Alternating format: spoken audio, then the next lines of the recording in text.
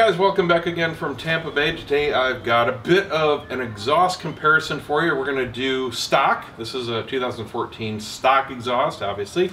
And these are Yoshimura or Yoshi Pipes R77s, right? All right, got Tom just off screen, the owner of this fine 2014.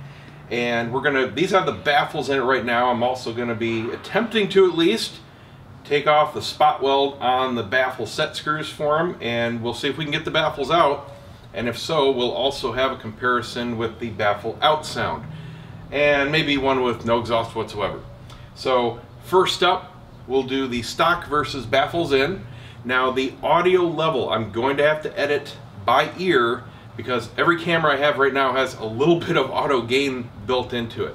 But I will edit it to what it actually sounds like to my ear as far as the volume level goes. There's not that much of a difference, but it is there, it's very slight. The tonal differences, the overall sound, is going to be very accurate with what I'm recording with. So let me start out with the bass line. We'll do the stock first.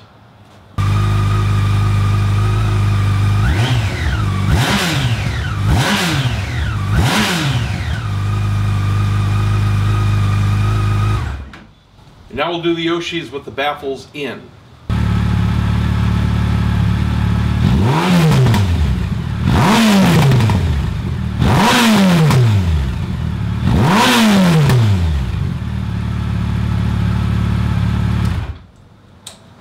Damn, those sound good.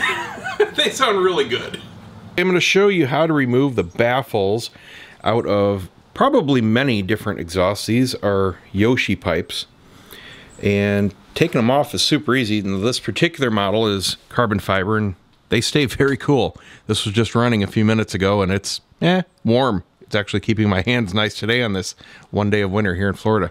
Now to take these off, it's a little different just in this bolt configuration than stock, but overall exactly the same kind of thing. Up here between the outlet of the cat and the side pipes, we've got one bolt and you just loosen this guy right here. On these pipes, this is captured, this whole band, so nothing's gonna fall out. And then you take off this one bolt here, and there's a nut right there on the other side. Now on the stock pipes, this nut is captured, but it's the same thing. And then all you do, we're gonna wiggle it, pull it off the pipe, and that'll give us access here. Took off the little rubber seal caps that go right here and inside is a set screw and on these particular pipes there's a spot weld holding the set screw in place and we're just going to use a Dremel to take off that little burr and that'll let that set screw come out and we can take out the baffle because we want to try it with and without the baffles and the owner of this fine bike Tom will see which he likes better. So compare that to stock. And I got my bag in so of course you can't easily see it but you've got the same clamp down there and then the bolt right there. So the pipe's off now, and like I said, really quick to come off. Now inside, I'm gonna try to show you what I see here. You see the set screw, but if you look just to the left of it there, right in the middle of it, you see the little tiny spot weld. That's what we're gonna have to zip off. So what I got here is a Dremel with a fine grinding tip on it. And that's what you need because it's the only thing small enough to get in the access hole. It really is a small hole. Sorry, you can see the size comparison there. Now inside, I'm just going to come at it from the top of that little burr and basically just touch it and it should zip it right off. We're not doing anything to the bolt, just that tiny, tiny little weld to the left of it there. That's it. Should be all we have to do and then we can take that screw out. All right, so here's the secrets on how to get this out.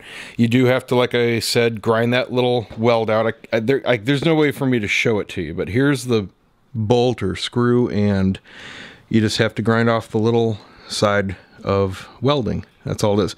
May take you a while. It's really hard, the way this one was welded, to see exactly where the dot was because it was under part of the carbon so I just had to keep grinding, keep grinding, and then it finally popped free. Don't put a ton of pressure on this because it will not move as long as there's any weld left.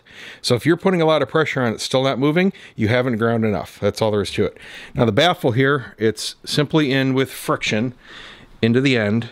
And the way we got it out easily is to just take off the two springs and looking down inside, oh, of course I take off my glove, but this guy's just stuck in the end. And I just used this little jack stand handle, anything you have about this size, just stick it in the front end. It'll contact the baffle about here. Just stand it upright and give it a tap and it comes right out. That's all there is to it. So now we're just gonna do the other side and put them back on the bike. And now just for fun, no exhaust. Word of warning, only do this very quickly. If you do, never actually run your bike without exhaust. You will screw up your motor.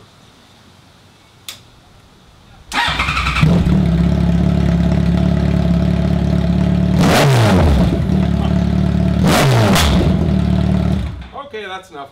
That's really loud. so for those curious, this is all there is to a baffle. It's just a freaking straight through solid piece of metal about six inches long and it just restricts airflow and changes the dynamics of the sound. Nothing magical to it whatsoever. And now for the final result, the Yoshi R77 pipes, no baffles.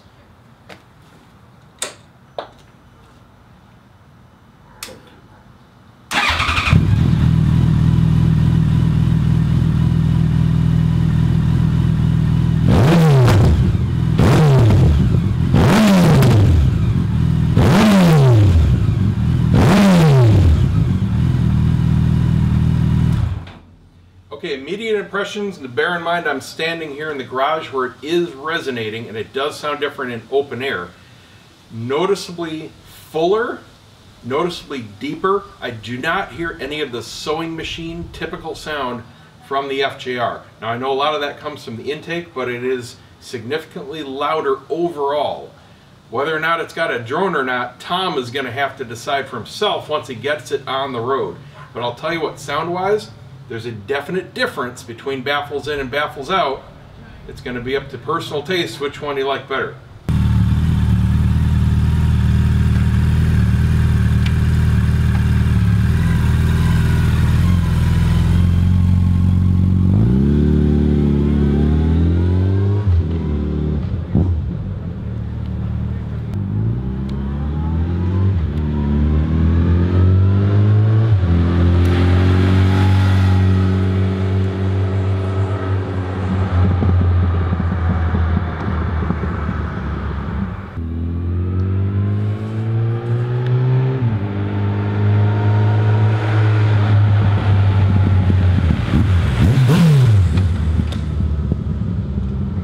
That's it guys, thanks for watching. If this video was awesome, give me a thumbs up. If it was horrible, give me a thumbs down. Subscribe to see more and we'll see you next time.